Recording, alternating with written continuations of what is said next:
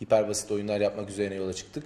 Fakat son dönemde baktık ki dijitalleşmenin hız kazanmasıyla beraber özellikle e, dizi yapımcılığında ve e, oyun endüstrisinde e, iç içe girdiğini görmüş olduk. Çünkü e, sanal eğlence dediğimiz pandemi döneminde çok büyüdü sanal eğlence sektörü ve bunda üç farklı bacağı oluşuyor.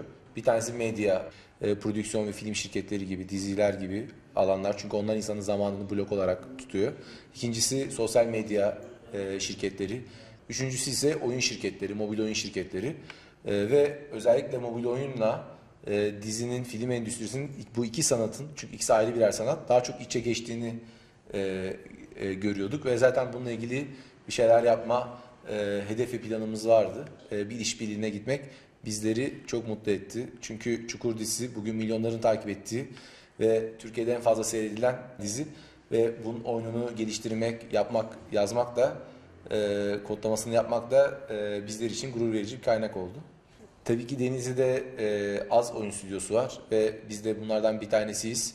Dolayısıyla da e, Denizli'de bu konuda açıkçası farklılaşmış olduk diyebilirim.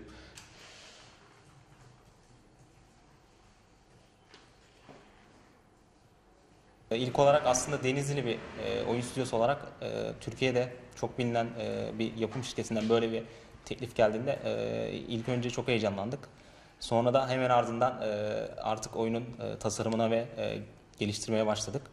E, bu süreçte de e, aslında finale çok az bir zaman vardı. Ve e, bu kısa olan zamanı çok iyi değerlendirdik ve e, normalde daha uzun sürecek bir oyunu iki ay gibi e, kısa bir sürede e, geliştirdik.